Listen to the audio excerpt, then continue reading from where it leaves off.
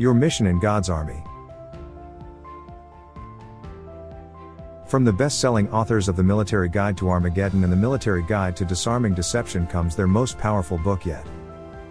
Hi, this is Colonel David Giammona, along with Pulitzer Prize nominated journalist Troy Anderson. We have a brand new book, an exciting book called Your Mission in God's Army, where a lot of people are looking around and they're fearful, they're afraid of what's happening in these tumultuous times. We've written a book, Troy, that I believe is going to change people's lives in dramatic ways. And so we're very excited to share this book with you today because it will help you navigate all the things that you need to think about, pray about, and do before the coming of the Lord. You know, Colonel, uh, my great grandfather, Ode to Joy poet and playwright Frederick von Schiller once said, There's no such thing as chance, and even merest accident stems from the deepest source of destiny.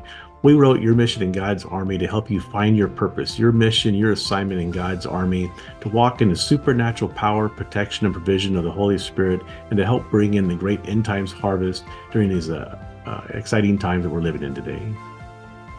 God bless you all.